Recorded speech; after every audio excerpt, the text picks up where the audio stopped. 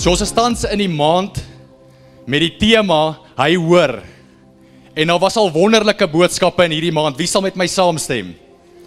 En ons het Vrydag aand ons deernag gebed gehad. Kan ek sien wie was almal daar gewees? En het julle dit geniet? Was julle bekragtig gewees? Ek glo die Here het groot dinge gedoen Vrydag aand. Ons het so 'n vrede gehad toe ons uh, Saterdagoggend uit hierdie plek uitstap van dit wat die Here gedoen het. En ek wil vanoggend met julle gesels oor hy hoor hou net aan. En ek wil vir julle twee aanhalinge lees. Die een is van Catherine Kuhlman. Sy het gesê the greatest power that God has ever given to man is prayer. John Wesley het gesê God does nothing except in response to believing prayer. Amen. Daar's krag in gebed. Wie kan met my saamstem? En wanneer ons gaan kyk na die lewe van ons Here Jesus Christus, dan sal ons agterkom dat hy was 'n absolute man van gebed. Die woord sê hy het in die oggende vroeg opgestaan om te gaan bid in Markus 1 vers 35. Die woord sê ook hy het homself baie keer onttrek van mense af om te gaan bid.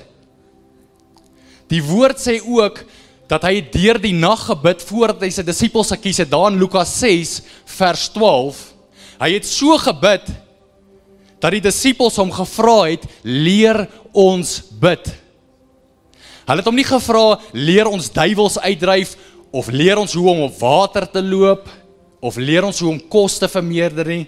Hulle het hom hierdie ding gevra, "Leer ons bid." Kan ek sien vanoggend is die enige golfspelers in die plek? Mense wat hou van golf, daar agter is Mackie. Mense wat hou van golf hierso vanoggend. As ek vir jou 5 dae gee saam met die beste golfspeler in die wêreld. Wat wat gaan jy doen? Gaan jy kyk of gaan jy net saam met hom kuier of gaan jy kyk hoekom is hierdie persoon so goed in dit wat hy doen soos wat hy is? Gaan jy hom nie dalk vra leer my jou geheim nie. Leer my hoekom is jy so goed in dit wat jy doen nie. En dit is presies wat Jesus se disippels gedoen het. Hulle het hom gevra, "Leer ons bid," want hulle het verstaan dit is waar hy sy krag vandaan kry. So ons dien 'n Here wat 'n absolute passie gehad het vir gebed. En ek wil vir jou gedeelte lees uit Lukas 18 vers 1 tot 8. En hierdie is wat Jesus, hierdie is Jesus se se lering. Hy sê hierso en hy het ook aan hulle 'n gelykenis vertel met die oog daarop dat 'n mens gedurig moet bid en nie moedeloos word nie en gesê daar was 'n regter in 'n stad wat God nie gevrees het en geen mens ontsien het nie. En daar was in daardie stad 'n weduwee en sy het gedurig na hom gekom en gesê: "Doen reg aan my teenoor my teeparty en 'n tyd lank wou hy nie, maar daarna het hy by homself gesê, al vrees ek God ook nie en al onsien ek geen mens nie, tog sal ek omdat hierdie weduwee my moeite gee aan haar reg doen sodat sy nie eindelik moet kom en my in die gesig slaan nie. Toe sê die Here, hoor wat die onregverdige regter sê. Sal God nie dan reg doen aan sy uitverkorenes wat dag en nag tot hom roep nie, al is hy ook lankmoedig in hulle geval? Ek sê vir julle dat hy gou aan hulle reg sal doen, maar as die seun van die mens kom, sal hy wel die geloof op aarde vind? Wat ek uit hierdie storie uithaal, was daar daar was 'n onregverdige regter wat God nie gevrees het nie en geen mens ontsien het nie. En daar was ook 'n weduwee gewees wat dag vir dag haar saak voor hom gestel het. En dan sy gekom, sy het haar saak gestel en hy het haar afgekeur. En dan sy weer gekom, sy het haar saak voor hom gestel en hy het haar afgekeur. Julle moet verstaan, hierdie was 'n harde man gewees. Hy het glad nie eens vir die Here gevrees nie. Hy het God nie gevrees nie. En dan sy weer gekom en sy het haar saak aan hom gestel en hy het haar afgekeur. En miskien is dit baie van julle vanoggend hierso wat sê ek is moedeloos. Miskien is dit jy vanoggend hier wat sê ek stel dag vir dag my saak voor die Here. Miskien is dit jou huwelik, miskien is dit jou finansies. Miskien is dit 'n by die werk 'n krisis wat jy by die werk deurgaan. Miskien is dit 'n familielid, miskien het jy siekte vanoggend in jou liggaam en jy vra Here, waar is U? Hoor U my nog? Is daar iemand vanoggend in hierdie plek wat sê Here, hoor U my nog? Ek is in 'n krisis, hoor U my nog? Net soos wat hierdie weduwee dag vir dag voor hierdie regter gekom het en haar saak vir hom gestel het en gebid het, net so wil ek jou aanmoedig vanoggend om nie op te hou bid nie. Ek wil jou vanoggend aanmoedig om nie op te hou nie want ons krag in gebed. Want vir 'n tyd lank wou hierdie regter nie aan haar reg doen nie. En hy het by homself gesê dat al vrees ek God nie en al ontsien ek geen mens nie tog sal ek omdat hierdie weduwee my moeite gee sal ek aan haar reg doen. En ek sê vir jou vanoggend as jy vanoggend in hierdie plek sit en jy sê Here, ek roep U aan. Here, ek het U nodig in my saak. Here, ek het U nodig. Die woord sê sal God dan die reg doen aan sy uitverkorenes wat dag en nag tot hom roep nie. Is daar iemand in hierdie plek wat dag en nag tot die Here roep? Amen. So die woord sê hy het toe reg aan haar gedoen, maar ons weet dat ons se Here Jesus Christus is nie dieselfde as hierdie regter nie. Hy's ver beter as hierdie regter. En die woord sê dat ons dien 'n 'n Here wat ver bo die regter is, wat ver beter as die regter is, sal ons God dan die reg doen aan hom wat dag en nag tot hom roep nie. Amen. Die sleutel hierso is daai aanhoudende gebed. Aanhoudende gebed. Die vyand sal enige iets doen om jou te keer om nie te bid nie. Dankie julle. Die vyand sal enigiets keer doen om jou te keer om nie te bid nie. Hoekom? Want hy weet daar's krag in gebed. Hy weet dat wanneer ons as gelowiges bid, er word krag vrygestel. Maar sê dit ek en jy moet die hele dag in die bidkamer wees. Wie van julle weet ons is besig? Wie van julle weet dat ons het werke? Ons moet dinge doen. Ons kan nie onaktief wees in die koninkryk van God nie. Maar ek wil jou aanmoedig vanoggend om 'n tyd met die Here te skeduleer elke dag. Net soos wat ek en jy tyd met mense skeduleer, moet ons met die Here ook tyd skeduleer. Wie sal met my saamstem? Ons sal baie keer vir mense sê, ek kry jou 3 uur hier of ek kry jou 5 uur daar by die kolonnade, maar ons kan dit nie vir die Here sê nie. Ons kan nie vir die Here sê ek kry jou môreoggend 6 uur in die binnekamer nie. Ek wil vir jou sê dit is jou belangrikste vergadering van jou dag is daai ene, is die tyd met die Here want daai vergadering impakteer elke area van jou lewe. As ons daar vou, dan vou ons in elke area van ons lewe. As ons gaan kyk na Daniël, die woord sê dat Daniël het 3 keer 'n dag gebid.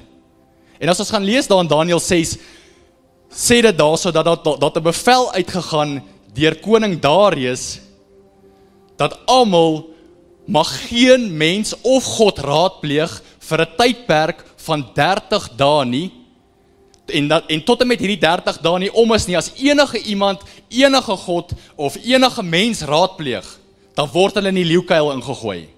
En ons lees dan dat Daniël het 3 keer 'n dag gebid en hulle het hom toe uitgevang. En die woord sê dat hulle hom in die leeukuil gegooi het. En die God het 'n engel gestuur wat die leeu's se bekke gesluit het en hulle het Daniël niks gemaak nie. Ek wil vir jou sê, miskien sit jy vanoggend by jou werk en daar's 'n klomp leeu's. Wie van julle kan met my saamstem? Wie was al in so 'n situasie? Daar's mense uit op jou. Miskien is dit by jou eie huis waar jy is. Hou net aan bid want die Here sluit nog vandag leeu se bekke. Amen. Wanneer ons moeg raak, dit is wanneer ons op die plek kom waar ons begin krag verloor, wanneer ons begin terugstaan, wanneer ons begin vuur verloor, dis wanneer ons begin autoriteit verloor. En dit is ook wanneer ons begin in versoeking val. En die oomblik wanneer ons begin in versoeking val, dit is wanneer die vyand sy hou op ons slaan. So ek wil vir jou vanoggend sê moenie moeg raak om te bid nie. Dis wanneer ons daai mure laat val, dis wanneer die vyand kan inkom en dis wanneer hy kan kom slag kan kom steel en kan kom verwoes. En ons lees hierdie gedeelte in Jakob en Esau en ek gee vir pastoor Johan krediet hiervoor, ek het dit uit sy boodskap uitgehaal waar Jakob en Esau as ons gaan kyk na na Jakob, die woord sê vir ons dat hy was 'n man wat in die tente gewoon het. So hy was daai een wat kos gemaak het. Hy was vredelewend geweest. En dan kyk ons na Esau aan die ander kant. Hy was weer 'n man geweest wat gaan jag het. Hy was 'n ervare jagter geweest. En op 'n dag toe kom Esau terug van die jagveld af en hy was moeg geweest. Hy was so moeg geweest dat hy het gevoel of hy wil doodgaan. En op daai oomblik toe staan Jakob en hy is besig om lensies te kook. En Esau kom in die huis in en Esau sê vir hom: "Gee vir my van hierdie lensies wat jy kook, want ek is so moeg. Dit voel of ek wil doodgaan." Dit is hoe moeg hy was. En die woord sê dat Jakob het hom gevra: "Gee my eers jou eersgeboorte reg." So Jakob het gesien hier's 'n geleentheid. Ek kan die eersgeboorte reg by hom kry. En Esau het gesê: "Gee my net hierdie sop." En en Jakob sê vir hom: "Sweer eers jou eersgeboorte reg vir my." En die woord sê e, Esau het sy eersgeboorte reg gesweer. En toe gee Jakob vir hom die lensies op. En wat sien ons hier uit? Moenie wanneer jy moeg is weggee dit wat belangrik is nie. Amen.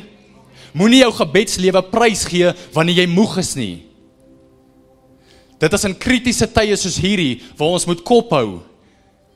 Dis in tye soos hierdie waar waar die wêreld, wie van julle weet dat dat boosheid net vermeerder dag vir dag vir dag. Vermeerder dit daar buite, maar ek wil vir jou sê dat as ons die gemeente kerk gaan aanhou bid, dan gaan ons groot dinge van die Here sien, want hy sê die wat hom gedurig soek, die wat hom aanhoudend soek, sal hy homself sterk aan bewys. Amen. En as ons nou die laaste skrifgedeelte kyk in Lukas 8 18 vers 8, dan sê dit daarso: Ek sê vir julle dat hy gou aan hulle reg sal doen, maar as die seun van die mens kom, sal hy wel die geloof op aarde vind? So hier vra Jesus: Sal hy wanneer hy weer kom, 'n kerk kry wat bid? Sal hy weer mense kry wat hom aanhou soek totdat hulle kry wat hulle wil hê? Want dit vat nogal geloof. Wie kan met my saamstem om aan te hou wanneer dit nie goed gaan nie? Dit vat geloof, dit vat krag om aan te hou wanneer alles teen jou tel. Maar Jesus het vir ons hierdie krag gegee. Hy het vir ons hierdie geloof gegee. gegee. Dis hoekom hy gesê het, sal hy hierdie geloof vind wanneer hy weer terugkom. Ek wil vir jou vanoggend sê wat ook al se situasie jy in is, hou net aan bid. Die Here gaan vir jou deurkom. Hou net aan.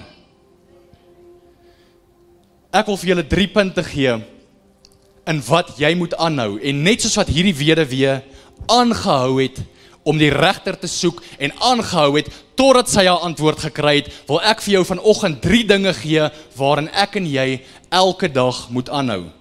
En die eerste een is ons moet aanhou vra. Matteus 7 vers 7 sê die volgende, die eerste gedeelte sê: Bid en vir julle sal gegee word. En as ons in die uh, die New King James weergawe gawe gaan kyk, dan sê hy ask and it shall be given to you. En daai woordjie ask is om te vra. Is en, en in die in die in die uh, in die dictionary is dit 'n solemn request for help. In die Woordeboek. Dit is wat die definisie daar is, 'n solemn request for help. So ek en jy moet die Here daagliks vra vir wat ons nodig het. Dis hoekom hy in sy onsse Vader 'n gedeelte ingesit het: "Gee ons vandag ons daaglikse brood."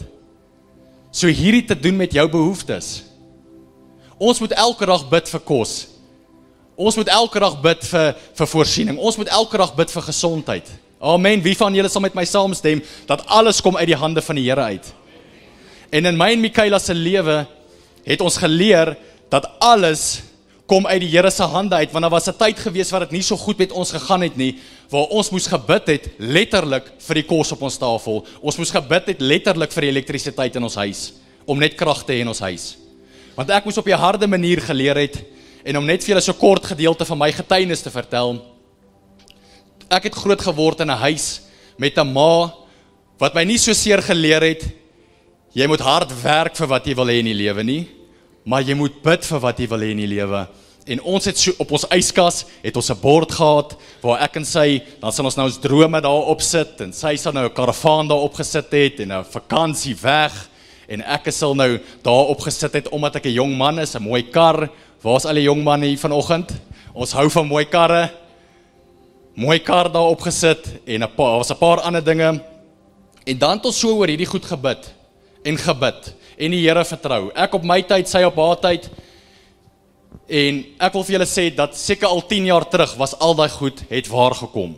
Die Here het vir my daai kar gegee wat ek gesoek het. Die Here het vir my alles gegee wat ek wat ek wou gehad het, alles wat my ma wou gehad het en wat sy oorgebid het, het die Here vir haar gegee. Ek wil julle aanmoedig, doen so iets in jou huis. Sit vir jou 'n droombord daarso op wat jy kan oorbid. Dit wat jy die Here voorvertrou. En ons het gebid oor hierdie goed en ons het letterlik elke liewe een van daai goed gesien waar word en op daai stadium toe kom ek na Shalom toe was hierso het wie betrokke geraak en ek gaan toe Bybelskool toe en daar het ek toe in die vak Principles of Prayer toe geleer bid. Toe kom ek onder pastoor Hanlie en sy het ons geleer bid.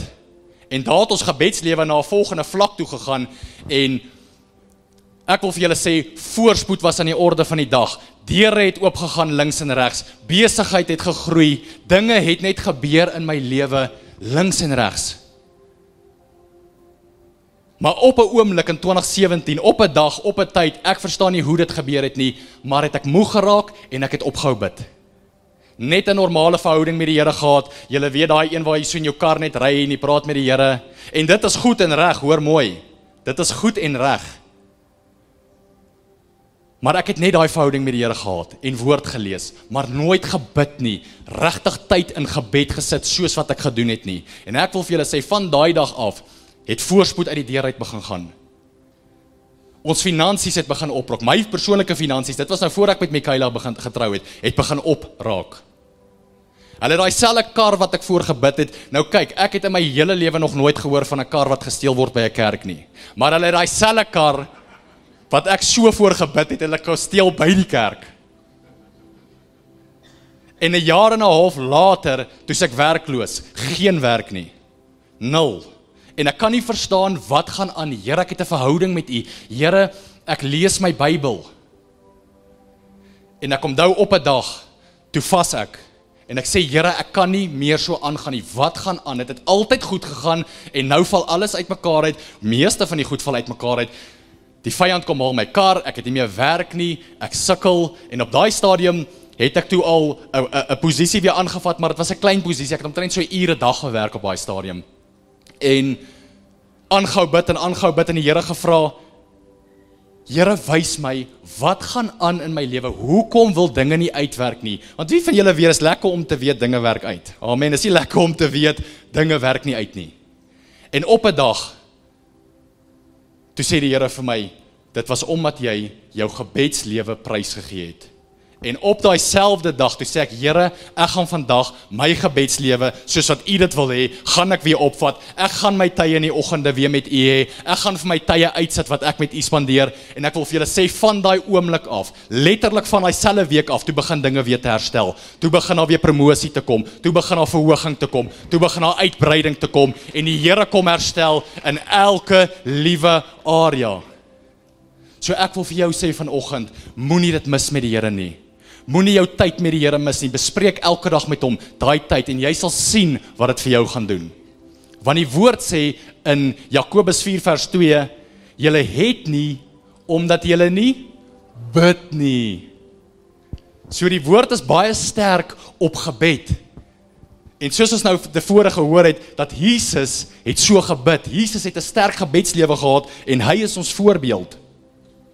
Matteus 7 vers 8 in die Amplified Classic sê en hy het hier sê nou. Matteus 7 vers 8 in die Amplified Classic. For everyone who keeps on asking receives. So die sleutel lê daarin hou aan. Die volgende punt wat ek vir jou wil gee wat ek en jy moet in aanhou is is hou aan soek. Wie van julle soek na antwoorde vanoggend hierso Ek dink jy sê hier's 'n hele klomp mense wat sê ek het antwoorde nodig. Wie van julle soek vanoggend die antwoord op moet ek hierdie rigting gaan of moet ek daai rigting gaan? Ek glo hier's van julle wat wil huise koop. Ek glo hier's van julle wat wil trek vanoggend. Ek glo hier's van julle wat wil immigreer vanoggend. Ek wil vir jou sê moenie gaan sonder om die Here te raadpleeg oor wat jy moet doen nie. Ons het al van soveel gevalle gehoor van mense wat net getrek het van een plek na 'n ander plek toe sonder om die Here te raadpleeg en dit was chaos geweest. So soek die Here in alles wat jy doen. Dit kan vanoggend wees, jy kan meer van die Here soek vanoggend. En ek het al agtergekom as ek vir die Here vra, Here, ek soek meer van U, dan kry ek daai begeerte in my om meer Bybel te lees, om meer te bid. Wie kan met my saamstem? As ons die Here vra, dan antwoord hy en hy sal vir jou daai antwoord gee. Ek hou daarvan wat die woord sê van Osaja in in 2 Kronieke 26 vers 5 sê die woord dat Osaja van Osaja, hy was 16 jaar oud toe hy koning geword het hierso. En die woord sê en hy het God gedurig gesoek in die dae van Sagaria wat onderrig gegee het in die vrees van God En in die dae dat hy die Here gesoek het, het God hom voorspoedig gemaak. So ek wil vir jou sê vanoggend, volgens hierdie skrif, sê die woord dat as jy die Here gaan soek, sal voorspoed jou deel wees. En voorspoed is nie net finansies nie. Ons het voorspoed nodig in ons huwelike. Ons het nodig dat ons huwelike geseënd is. Ons het nodig dat ons huwelike uitwerk. Ons het nodig dat ons besighede uitwerk. Ons het nodig dat ons finansies uitwerk. Want hoe gaan ons die koninkryk van God voorsien as dit nie uitwerk nie? So ek wil vir jou sê vanoggend, soek die Here. Hy gaan vir jou deurkom. Hy gaan vir jou hierdie voorspoed gee. Matteus 7 vers 8 in die Amplified Classic, dis die tweede gedeelte van hierdie skrif. Dan sê hy hierso, and he who keeps on seeking finds. And to him who keeps on knocking is die volgende gedeelte, the door will be opened. En dit bring my by my volgende punt is jy moet aanhou klop. Wie het nodig dat deure vanoggend vir jou moet oopmaak? Wie soek nuwe werk? Wie wil aanbeweeg in die lewe? Wie wil na groter toe beweeg? Wie wil hê 'n deur moet vir jou kinders oopmaak? Die woord sê hierso hou aan klop. Klop en vir julle sal oopgemaak word. En dit verwys na deure, dit verwys na geleenthede wat vir ons moet oopmaak.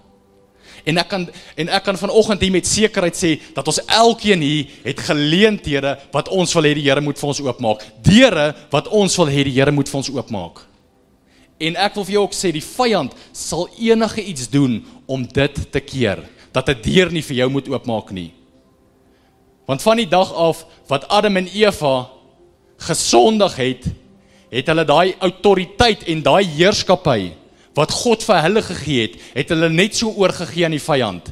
En van daai dag af het die vyand begin sy koninkryk op aarde te vestig. Dis hoekom daai koninkryk is teen die koninkryk wat ek en jy dien. Maar ek dank die Here Jesus dat hy gekom het en aan 'n kruis gesterf het en hy daai autoriteit en hy daai heerskappy teruggevat by die vyand en hy het dit vir my en jou vir die kerk gegee. Dis hoekom hy kan sê in sy woord, ek het aan julle die autoriteit gegee om op slange en skerpe joene te trap en oor al die krag van die vyand, want hy het dit vir ons teruggewen. Amen. Hy het ook gesê wat ook al julle bind op aarde sal gebind wees in die hemel. Wat ook al julle losmaak op aarde sal losgemaak wees in die hemele. So ek en jy moet begin vasmaak en losmaak in die op die aarde sodat daai dinge kan gebeur in die geestesdimensie. Gebed is 'n geestelike ding. Dit gebeur eers in die gees en dan kom dit deur in die fisiese. Alle gebede wat ek en jy kan bid, is eers in die, dit werk soos 'n bankrekening. Ek kan vanoggend dit dit sê hierso, dit werk soos 'n bankrekening. Ons kan nie onttrekkings maak as ons nie geld in die bank het nie. Wie van julle sal met my saamstem? Net so enigiets wat ons by die Here wil hê, gaan vooraf met 'n seisoen van gebed. So as ons wil onttrekkings maak, moet ons deposito's maak eers. Amen. En dit is presies hoe dit werk met gebed. En jy moet vanoggend verstaan dat Sonder 'n gebedslewe kan ons dit nie in hierdie tyd maak nie. Jesus Christus homself het dit geweet. Hy het dit verstaan. Hy was ons voorbeeld gewees. En ek wil afsluit met hierdie volgende skrifgedeelte. In Matteus 7 en dis vers 11. Waar Jesus sê en ek wil vir die musiekspan vra as julle ook vir my opkom asseblief. Jesus sê die volgende: As julle wat sleg is, dan weet hoe om goeie gawes aan julle kinders te gee, hoeveel te meer sal julle Vader wat in die hemel is, goeie dinge gee aan die wat hom bid. So hy sê as ons gaan bid, dan gaan ons goeie dinge by die Here kry, want die Here wil hê dit moet geseënd met ons gaan. Hy het gesê ek het gekom sodat jy lewe kan hê en lewe in oorvloed en daai lewe in oorvloed is in gees, in siel en in liggaam. En materialisties. Want wie van julle wil 'n goeie erfdeel vir julle kinders agterlaat? Wie wil 'n goeie deel oorgee, 'n goeie deel oorhandig? Wie wil meer gee vir die Here vanoggend hierso?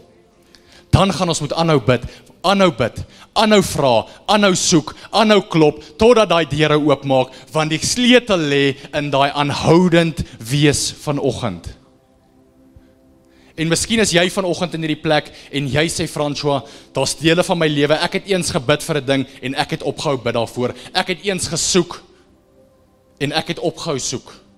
Ek het eens geklop, maar ek het opgehou klop. Ek wil vir jou sê vanoggend, jy kan weer hervat en weer begin bid. Die Here is nie 'n leenaar, hy's nie 'n 'n 'n leenaar dat hy sal lieg nie. Hy's 'n God wat waarheid spreek en dit wat hy gesê het hy sal vir jou gee, sal hy vir jou gee, maar die sleutel wat hy vir ons gegee het is as ons moet bid daarvoor.